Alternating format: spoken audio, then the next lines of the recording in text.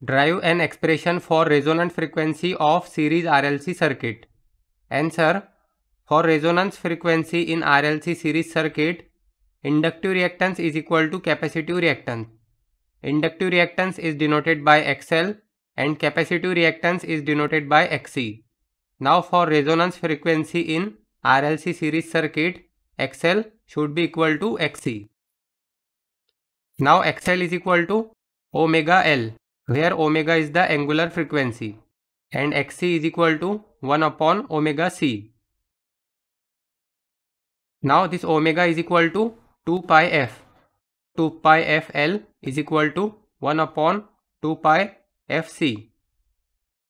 Now from this if we take this 2 pi into l in right side so this will be 4 pi square and if we take this f on left side so this will be f square.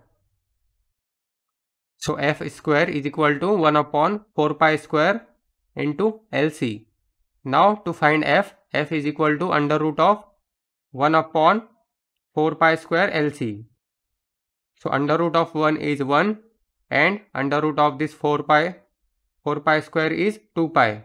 And under root of this lc is under root lc so this f is the resonant frequency. f is equal to resonant frequency. Let's say this is fr. So fr is equal to 1 upon 2 pi under root of lc. Where fr is the resonant frequency in RLC series circuit.